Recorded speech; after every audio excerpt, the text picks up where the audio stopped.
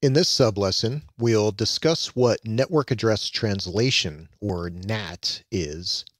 We'll show and describe the different virtual machine connectivity options in VirtualBox. And finally, we'll demonstrate how to create and configure a NAT network in VirtualBox. You'll need a NAT network so that the different virtual machines in VirtualBox can communicate with each other. So what is NAT? Well, here we have a illustration with a PC and a router and the internet. So what is it? Well, NAT redirects an IP address space to another IP address space. It's often used between a private LAN and the internet. So for example, we have the 192.168.1 network over here this PC is a member of that. This router is a member of that as well. But over here, we have the public address of the router. That's the public internet space. And so NAT is going to redirect between those. So if the PC here wants to get out to the internet, it'll do that through the router. And servers on the internet will not know this PC's private IP number network address translation will make it so that servers on the internet will only see this IP address of the router communicating with them. They won't see this. So that's network address translation. And it's taken care of at the router here. In a virtualization system, we can kind of go down to the micro level. In a virtualization system, it's used to allow virtual machines in a separate internal private network to communicate with the LAN, with the local area network.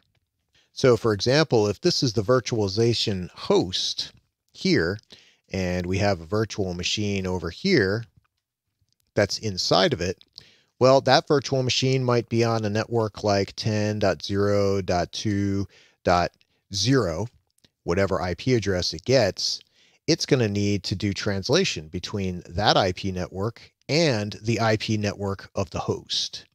So network address translation not only happens at the router, but it also happens at the virtualization host to allow communication between the VMs and out to the LAN and ultimately out to the internet. So that's network address translation, not only for the LAN, but also for a virtualization system. Let's go ahead and show the different network connectivity modes and also show how to create a NAT network now. Okay, so I've connected to a Windows 10 laptop and I have VirtualBox open here and you can see I have some virtual machines already set up. To show the different network connectivity modes, we have to show them within the settings of a virtual machine. So I'm going to go and right click on one of the virtual machines and go to settings and then go down to network and in the attached to section, we can see the options. So we've got several options here. We've got NAT, we've got bridged adapter, internal network, host only adapter, generic driver, NAT network, and not attached at all. So you can run a variety of virtual machines in different ways with different network connections. Not attached would be not connected to the network at all, completely isolated. NAT means that you're behind a NAT connection and you're on an internal private network and the virtual machine can connect out to the internet.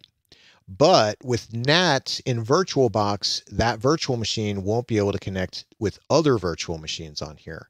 If you want these virtual machines to talk to each other, you have to select NAT network uh, as of the recording of this video with VirtualBox. Other virtualization systems, you just choose NAT and it usually works fine. But with VirtualBox, you'd have to select NAT network. And you're going to want to do that to have your different virtual machines talk to each other. You'll also see bridged. That means that you're connecting directly to the LAN and you get an IP address on the local area network instead of an internal private IP within VirtualBox. So NAT network is the one that we're going to be using. but you have lots of options here. Again, chapter six in the VirtualBox manual can be very helpful with all these descriptions of these settings. Okay. Let's jump over to another system here. I'm going to move to VirtualBox, which is running on my Linux virtual machine.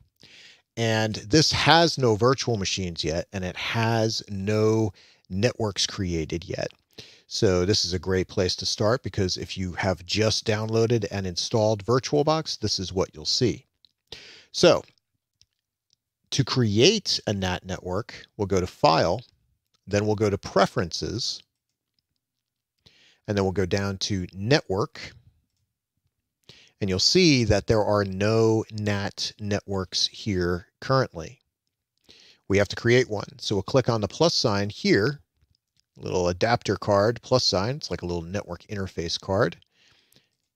And click it. When it does that, it automatically adds a NAT network using the 10.0.2.0 network slash 24. If we double click on that, we'll see that actual network address. You'll also see that it supports DHCP.